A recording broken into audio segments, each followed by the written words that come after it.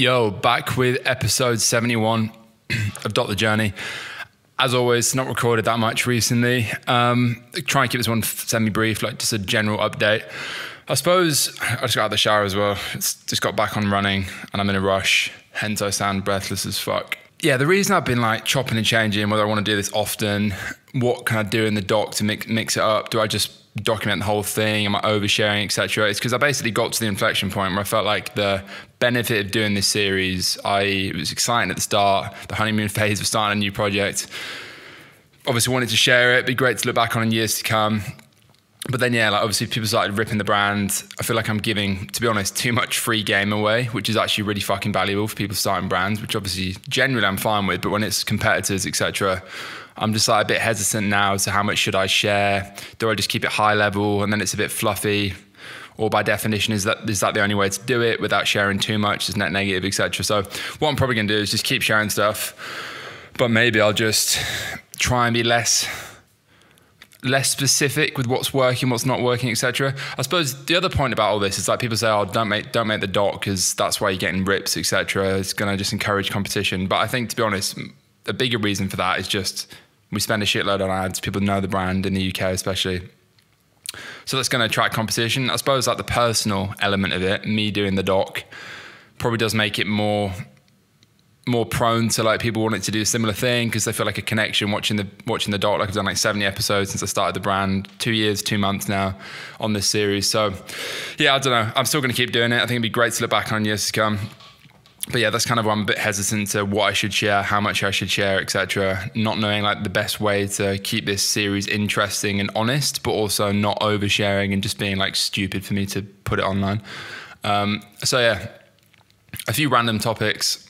I always feel like I, I, write down or I think of cool shit to talk about on the YouTube or like to tweet about or a concept that's bugging me, and then I forget what it is. I write a few things down that are on my mind.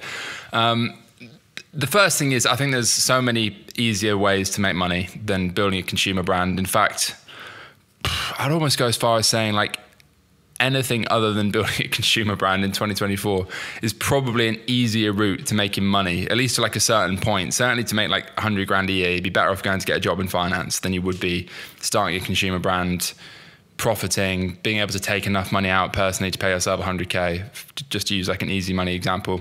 Um, obviously the potential upside if you get it right is way way way bigger than than some other stuff or certainly than getting a job but you know starting an agency i don't know starting a property business um, working in recruitment for example. I mean i don't know those businesses but i do think consumer particularly d2c consumer and what just consumer brands in general cpg in particular is very fucking hard. You have got to be good at at least very competent at product, brand, marketing, supply chain, operations, customer service, managing a team, managing cash flow, and be always on because it's 24 7. It's not like you open the shop, you shut the shop, and you have your weekends off. Like it's always on. Stuff's going wrong all the time. People are buying stuff all the time. Obviously, that's great. Like ecom never sleeps, but it's also fucking challenging. And I just think, yeah, the reality is it's really fucking hard to build a brand. And I think you have to genuinely want to build products and, and brands to do it because there are so many easier ways to you know build a lifestyle business or build some like generate a good income um, but at the same time on the flip side of that i think it's so hard but it's also like the sickest thing. Like who wants to build a recruitment business really compared to building like a sick product brand that eventually gets in the hands of like millions of consumers? To me it's like the ultimate alchemy of entrepreneurship. It's like you literally think of a product, design it, create it, put it out into the world, and eventually hundreds of thousands of people or millions of people eventually are buying it every year and using it and hopefully loving it. So that's what being a fan is all about, in my opinion. And it's fucking hard work, and there's a lot of variables and a lot of things, but yeah, it, it is cool when you take a step back and think, like, what other industry has that?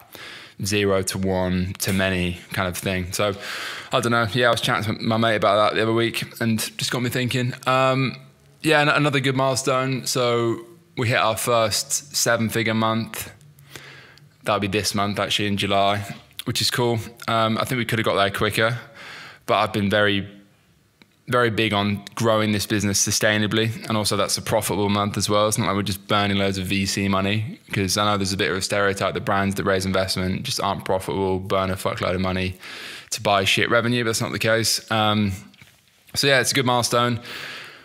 I haven't actually done a seven figure month in ecom since I think it was September or October 2020. So like nearly four years ago, which is pretty mad. It's, it's taken me that long to build momentum with obviously a proper brand. Would have been arguably a lot, a lot quicker if I just, I don't know, started dropshipping again. But yeah, that's a cool milestone to get back to. Um, and yeah, I think in, I felt, felt like the, the brand started relatively slow. Like a lot of people say, you grown really quick. I mean, like in the first eight months, the first year, 22, we did like 1.2 million. Last year, we did about 4 million. This year, hoping for 10 plus um, pounds. So to me, that feels quite slow because I've done quicker before. And I know a lot of people that have built brands bigger and faster. And that's just the downside of knowing a lot of successful people and being in those circles. But I genuinely feel like that's pretty slow. But I suppose to a lot of people, they're pretty good numbers. Um, and yeah, I guess it's quite cool to hit that milestone. Um, and yeah, it, it, does feel like when you build a brand, especially one that people actually enjoy the product of, it's not just like a first order, fucking buy it once, never come back sort of thing. You know, a pump and dump like stuff I've done in the past to some extent, like Neon. Um, yeah, it feels like it can compound really quick. Like building momentum with a brand is slow. It's always going to feel slow, especially even though if looking back, it's actually relatively quick. Like like for me. Um, but yeah, it can compound real quick. And I guess the work you do on the products, on the brand, building the team, building the back end. Because another thing I'm proud of with the brand as well, we've, we've got over 3,000 Trustpilot reviews, rated 4.4 out of 5, which is a lot better than most of our competitors, a lot more volume on there as well. And I think, especially in the UK, like Trustpilot reviews is a good general sentiment of like what customers think. So yeah, like scaling, but also scaling with genuinely good reviews. You know, people messaging me every day saying the product's changed their life, all that sort of shit. I, I do feel like we're building like a, a legitimate brand and a, a, genuinely good product. So yeah, it's cool. Um, but yeah, obviously the goalposts always move because you know I know people that are doing five or six million a month, which makes me feel very fucking small. Um, but I suppose, yeah, the beauty of this series is obviously when I started a bit over two years ago, I wanted to get to 100k a month, and we did that in like the I think second or third full month.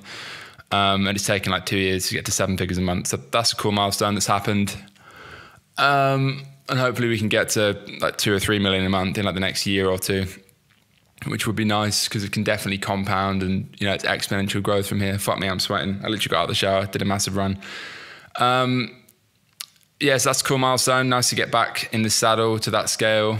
Obviously, a lot more work to do though. Um, and yeah, goalposts keep moving. I think the other point on that is as well, like I probably used to be in the mindset of, you know, well, I used to literally run brands for like two, three years and then, well, two years and then do the next thing. Like I'm two years and two months into this one. And I, I sometimes do get new ideas because that's just the way my ADHD founder creative type brain works. Um, but I think it's five to seven years minimum to build like a legitimate, big, successful brand to go like properly big. And by properly big, I mean probably like 30 to 50 million in revenue and beyond. Um, I think that's going to take me five to seven years realistically. And we're two years in. So we'll see. But I guess just on that, you know, just learning to think longer term, be more patient. It's cringe and cliche, but I appreciate the journey. Like, smell the roses as as you're growing. Like stop to zoom out sometimes and think, well, we've actually made a lot of progress. So yeah, I think just thinking longer term to build like a legit a legit brand at the scale that I want to get to.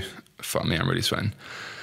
Um, yeah, I'll close out. I feel rusty on this pod. You can probably tell I've not recorded one like four weeks or something at, at my desk, properly speaking. Um, and yeah, the other thing is like five to seven years feels long, but time flies. It feels like five minutes ago I launched a brand. It feels like five minutes ago I was fucking 18. I'm 28 now. It's crazy.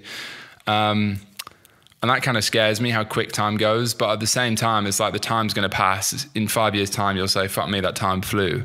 So you may as well push every area of life, you know, fitness, personal life, work as hard as possible in every area, every day, really, because the time's going to pass and you, will get to the point where I'll be 30 in two years, which is fucking mad. And I'll be like, wow, I launched the brand four years ago and it, it went like that. So sometimes shit can feel like it's taken ages and it does to me a lot. I'm very impatient, but at the same time, this is like the, the dichotomy of time in life or something. feels like it's taken ages, but then once it's gone, it feels like it was a blink. So I suppose the lesson and point there, I think I'm realizing is just don't stress about how long it's going to take. Just try and do as much as you can every single day, and eventually that'll add up, and the time will have flown by anyway. So yeah, on that um, reflective point, I'm sweating my ass off. I'm 10 minutes into this video. Yeah, things are moving the right way. It's been a, a good few months. A lot of groundwork has been done. A lot of lessons have been learned. You know, I look back the past two years and think, wow, there's a fuckload of stuff I shouldn't have done or I would have done differently in hindsight. But I think that's probably always going to be the case to some extent. The key thing is just learning from that, pivoting and pressing on to the next the next next chapter really. So yeah, good good progress being made. Obviously, always day one. I'm always humbled by the, the success and levels above of people around me and I don't think I'll ever be that guy that hits a certain number and starts flashing, you know, flashing the cash on stupid shit like I used to be because I'm just a lot more mature and a lot more, I don't know, just different mindset these days. Like I really don't consider anything that I'm doing successful at all in any way, even though it is going the right way. There is good progress. Um, because I realize that where I want to get to is so much further ahead of where I've ever been that, yeah, I need to just stay, stay focused, stay humble stay focused on the task at hand, you know, win the day, win the month, win the year, sort of, sort of thing. Obviously, like, not to say I can't enjoy the process and be like happy with how things are going. I wouldn't ever say I'm really proud of like progress I'm making, but yeah, I don't know. I'm just a much more humble guy than I used to be, I think. Um, whether that's evident on these videos or not. But anyway, I'm rambling. Good progress. Hope everyone's well the next six weeks tend to be quite slow for ecom, so we'll see how they go. Obviously, like end of July, August, historically quite slow. I'll be going away a bit, as will probably everyone else in the team and so on. So, yeah, excited to put the put foundations in for September onwards, where we can really, really push it. So, boom. On that note, subscribe to the pod. If you're coming to the yacht event in two months, that'd be fucking sick. I might make a video a bit more details on that soon, and I'll catch you in the next one. Cheers for Peace.